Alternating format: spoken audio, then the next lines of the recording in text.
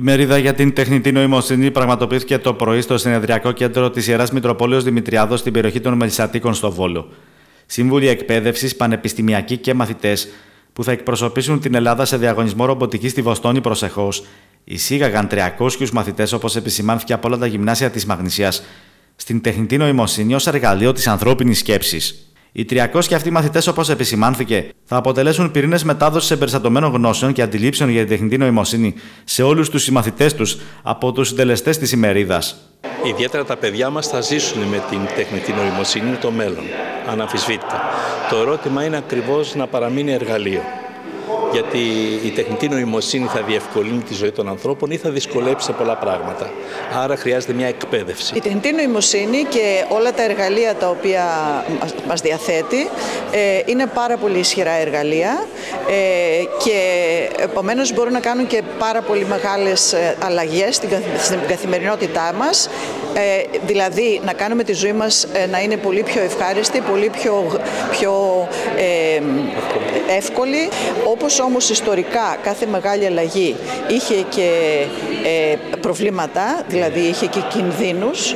Πάρτε παράδειγμα, εύκολο παράδειγμα, το αεροπλάνο. Το αεροπλάνο που έκανε τεράστια αλλαγή στους ανθρώπους, αλλά το αεροπλάνο το βλέπουμε και στον πόλεμο. Λοιπόν, με, το, με την ίδια ιστορικότητα, ας πούμε, έχουμε και πολλά προβλήματα τα οποία έχουν να κάνουν με το κομμάτι, ας πούμε, της κοινωνίας που έχει να κάνει με ε, όλες τις κακίες και τις εννοώ ας πούμε, τα προβληματικά, τα προβληματικά ε, θέματα της κοινωνίας, η κλιματικότητα και το καθεξής, η οποία διευκολύνει σε πολύ μεγάλο βαθμό.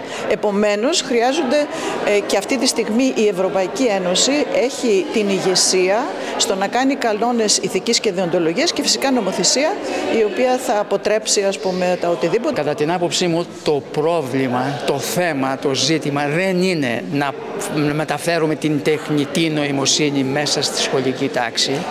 Θα πρέπει το ίδιο το σχολείο να βάλει τους όρους με τους οποίους ε, ζητάει από αυτή τη νέα τεχνολογία να υπηρετήσει τους σκοπούς του, δηλαδή τη μάθηση, την, τη διαπαιδαγώγηση και την λειτουργία της, ε, της σχολική. Επομένως εδώ ε, είναι πάρα πολύ βασικό κατά την άποψή μου να, να μην να αλλάξουμε οπτική. Όχι δηλαδή να φέρουμε ε, κάποιες ήδη ε, υπάρχουσες εφαρμογές τεχνικής νοημοσύνης μέσα στο σχολείο, εφαρμογές που έχουν σχεδιαστεί έξω από το σχολείο, αλλά το σχολείο να απαιτήσει και να βάλει τους δικούς του όρους για το τι θέλει από την τεχνική νοημοσύνη. Είναι μια καινοτομία που θα βοηθήσει προς το καλύτερο την καθημερινότητά μας μέσα στη τάξη αλλά και στο σχολείο μας. Θα πρέπει να είμαστε πολύ προσεκτικοί και να ελέγχουμε γενικά σε τι site μπαίνουμε και όλα αυτά πριν μπούμε να το χρησιμοποιήσουμε. Και καλό θα ήταν να εμπιστευόμαστε και έναν μεγαλύτερό μας που ξέρει καλύτερα. Με αυτή την παρουσίαση διαπιστώσαμε ότι η τεχνητή νοημοσύνη υπάρχει ήδη και εμείς ως μαθητές αλλά και στην καθημερινότητά μας μπορούμε να τη χρησιμοποιήσουμε άμεσα έτσι ώστε να πρωτοπορήσουμε και εμείς τις επόμενες χρονιές αλλά και οι επόμενες γενιές. Στην ημερίδα έδωσαν πάντως το παρόν και μαθητές και μαθήτριες που αποτελούν μέλη της βολιώτικης ομάδας Ταλώδια, της ομάδας Τάλος του Πανεπιστημίου Θεσσαλίας, που έχουν δημιουργήσει ένα φορητό μουσείο για ηλικιωμένους. Το είχαν παρουσιάσει μάλιστα πριν από λίγο καιρό στους ηλικιωμένους του γεροκομείου του Βόλου. Τα παιδιά αυτά για τη φοβερή τους έμπνευση και τη δημιουργία τους έχουν κατακτήσει και υψηλές θέσεις σε διαγωνισμούς.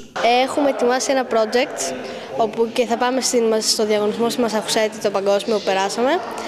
Έχουμε ετοιμάσει ένα project που αφορά τους ηλικιωμένους και τον προγραμματισμό και τους δείχνουμε μέσα από βασικά ε, μέσω βασικέ εντολές προγραμματισμού, πόσο εύκολος είναι ο προγραμματισμός και το ότι χρησιμοποιούν στην καθημερινή ζωή. Ένα φορητό μουσείο προγραμματισμού που είναι φτιαγμένο για την τρίτη ηλικία. Ε, είναι φορητό ώστε να μπορούμε να το μεταφέρουμε όπου θέλουμε και να μπορεί να ανοίγει πάρα πολύ γρήγορα ώστε να έχουμε όσο περισσότερο κοινό ε, θέλουμε. Ε, ξεκινάει με μια διαφήμιση για να προσελκύσει τους ηλικιωμένους και έπειτα έχει ένα πόστερ που λέει για την ιστορία του προγραμματισμού. Όπως υπογραμμίστηκε ο μεταβαλλόμενος κόσμος που έρχεται θέτει στο επίκεντρο την τεχνητή νοημοσύνη και την τεχνολογία του μέλλοντος.